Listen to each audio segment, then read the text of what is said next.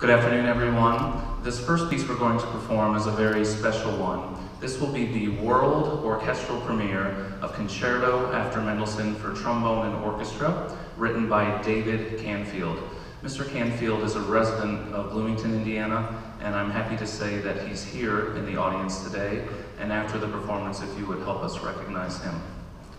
This piece was written specifically for his dear friend and colleague, Carl Lenthe, who's professor of trombone at Indiana University down in Bloomington.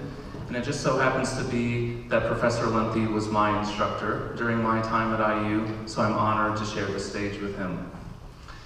Um, I would ask that everyone please do read the program notes for this piece because they were written by the composer himself, and it goes into great detail about each of the movements. Now, this is one of several works by Mr. Canfield in the After series, where he aims to write in the voice and vocabulary of a particular composer, and in this case, Mendelssohn.